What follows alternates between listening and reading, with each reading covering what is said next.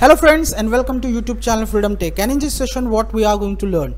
In this session we are going to detect objects with the help of TensorFlow Lite and then we have here text to speech program which basically convert our text into speech it means when a TensorFlow Lite detect object, let's say it's detect a person, so it will speak like this way, there is a one person or there is a two person. Or we can say if there is another object, it will say, uh, let's say if there is a chair, so it will say there is a chair because we have text to speech program okay? So before we move to our practical friends if you learn something from our videos please consider to subscribe our channel okay friends? Thank you so much and let's get started. So friends for that first we need here latest OpenCV and TensorFlow Lite okay? So I have already installed OpenCV okay? This is the repository. I will mention link of repository inside my description box. You need to simply copy paste the link inside the browser. Then go to the code here copy the link and we are going to clone our repository okay? So run the command like this way git clone and paste the link of our repository and just hit enter. It will clone our repository. Now we have our repository. Now we need to simply run the command cd and our uh, repository name is raspbian legacy. Just hit enter. Now here ls command.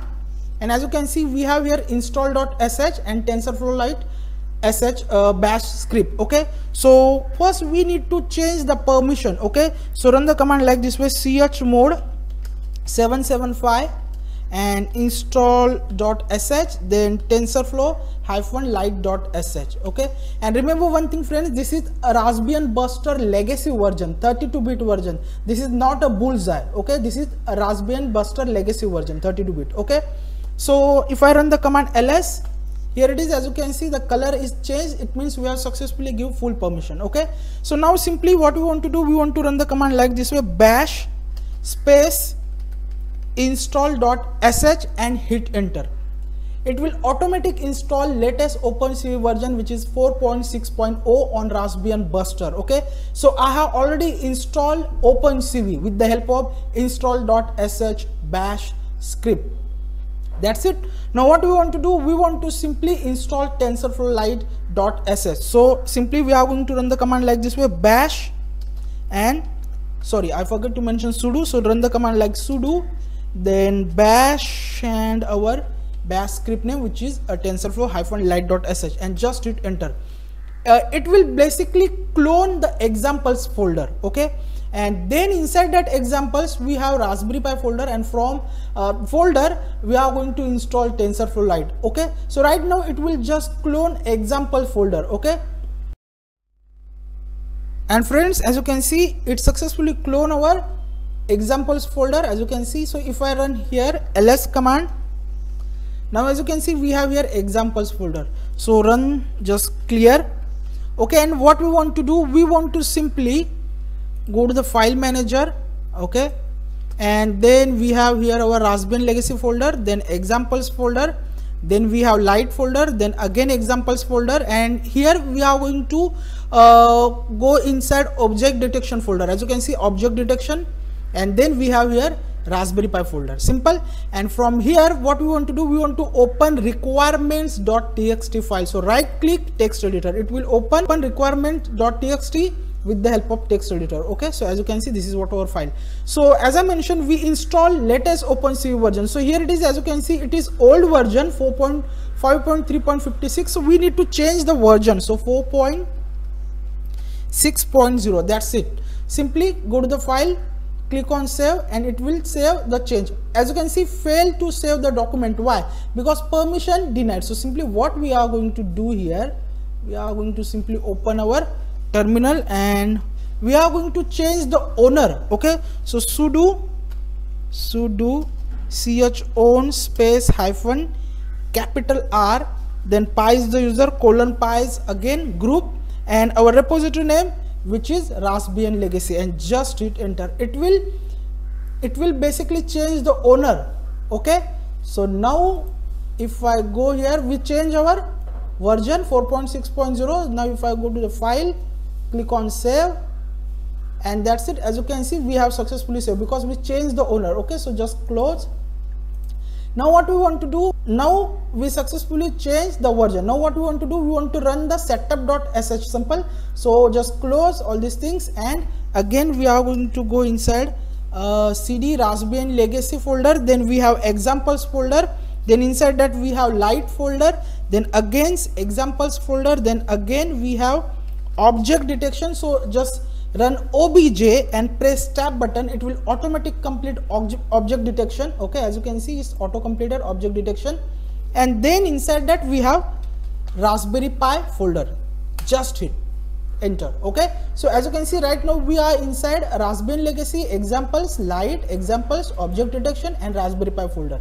So if i run here ls command so this is the uh, script okay? As you can see setup.sh which we want to run for installing tensorflow lite so run like this way sudo bash and setup.sh just hit enter. So now it will install tensorflow lite on our raspbian buster legacy version okay? So friends as you can see we have successfully installed our TensorFlow Lite okay? So we have done with installation of our TensorFlow Lite and OpenCV. Now we are ready and I am going to simply minimize terminal now what we want to do we want to simply open our Thonny Python ID.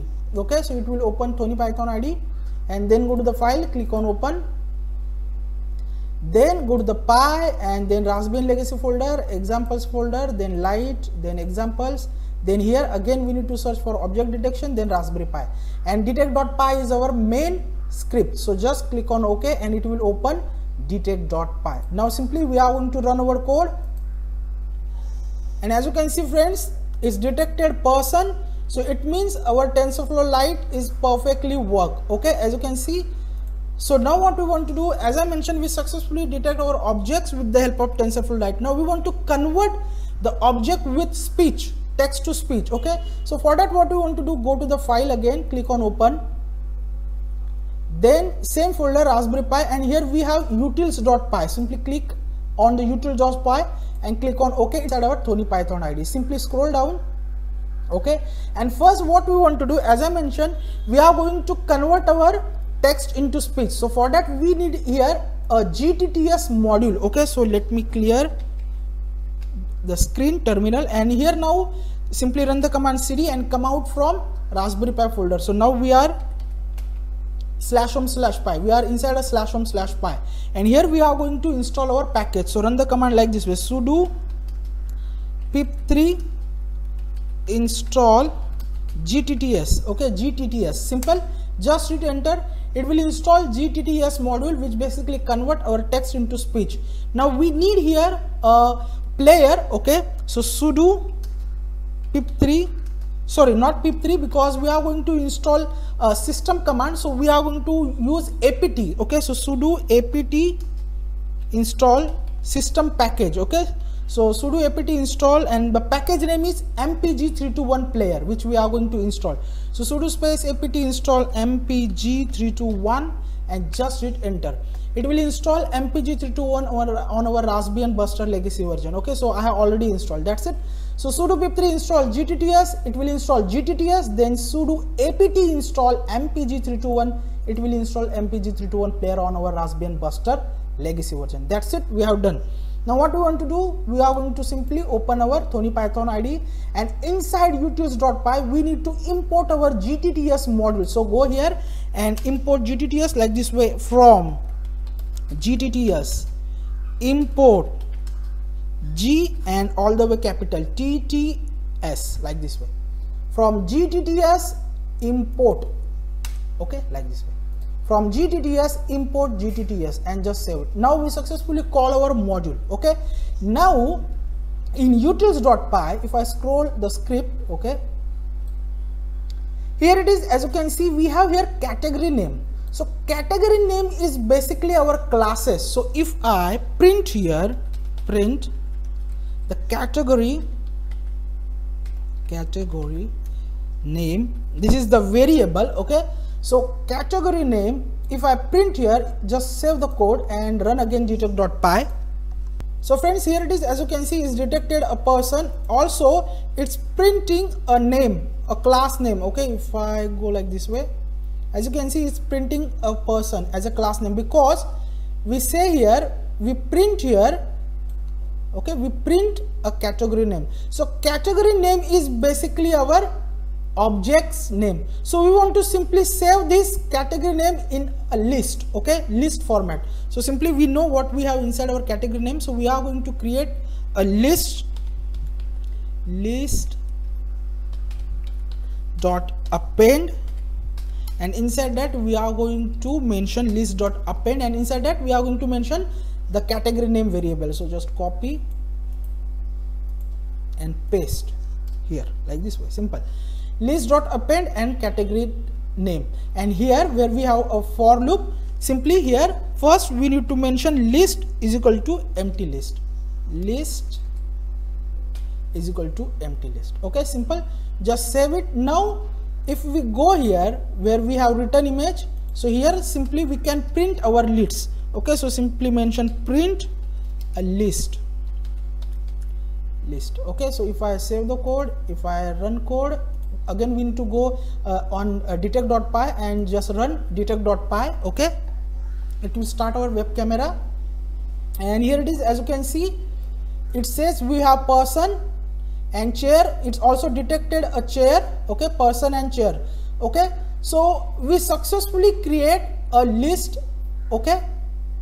If i go like this way as you can see we create object list. Simple. Now what we want to do i create here another repository for today's session okay so let me make like this way and uh, here it is as you can see i have created another repository Raspberry Pi AITF. I will mention the link. Okay, you need to simply copy and paste link. That's it. Then what we want to do inside that I have create here a speak obj.txt file. Okay, so we need to clone the repository. So just click on code, copy the link, and open terminal. And we are going to run the command like this way: git clone and paste the link. That's it. And then just hit enter. It will clone our repository. Okay. Now we have our repository. Now what we want to do? We want to go file manager and our repository raspberry pi aitf okay and this is what our txt file so open with text editor okay and here it is as you can see i have create here a speak function which basically convert our text into speech and this is the counting program it's, it's basically count the frequency of our object. Simple so we are going to simply copy paste these two function okay? So let's just start with first count okay? So first we need to copy from here just copy it. The count frequency function copy it. Open Thonny editor and inside the utils.py okay? Inside utils.py simply where we start visualize function first we need to paste our count frequency function. That's it. As you can see i have pasted it. Okay. Now what we want to do we want to simply copy our function name copy it. And where we have our list here we have our list as we print. Okay. So simply we need to press Ctrl V. It will copy paste our function name and inside that inside that we need to call our list list. Simple so if i save the code and here so here what we want to do i have already mentioned the speak function but first what we want to do we want to cross check. So what i am going to do i am going to comment a speak function and then we are going to print a. Okay it will give us a idea. Print a. Simple. Save the code. So again come to the detect.py and run the code so friends as you can see our camera is started and it's detected our object which is person okay? So now what we want to do simply press r from the keyboard okay? So just press r. And here it is as you can see inside shell it says we have person okay? I just stop the code. So when i press the r from keyboard it says we have person and the frequency of persons means how many person we have. And we have another object which is chair and how many chair we have. Okay? So if i again go to the utils.py and we have here our count frequency function. As you can see i have mentioned here condition. If we press R from the keyboard, then it will save object and object frequency name. Okay, simple. Now what we want to do, we want to simply paste our another function, which is our speak function. So simply copy it from here, copy speak function. Okay, copy it and just open Thonny Python ID and here we are going to mention our another function which is speak function. Okay. So def. Simple. Save the code so now we have our speak function. So we are going to simply delete print a and we are going to uncomment our function speak. And inside that of course we need to pass our a variable. Now if i save the code and again go to the detect.py if i run the code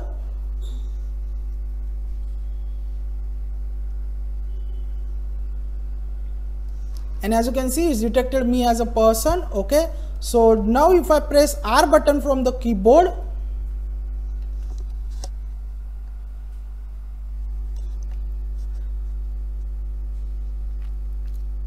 so as you can see friends we have here error.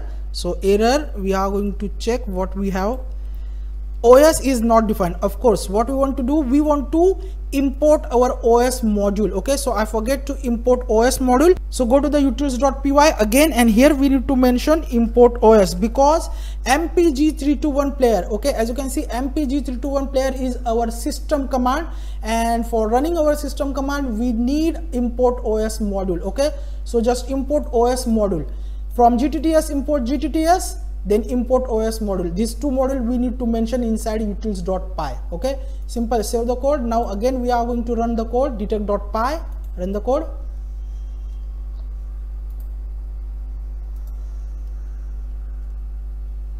And as you can see it's detecting me as a person. So simply we are going to press r button.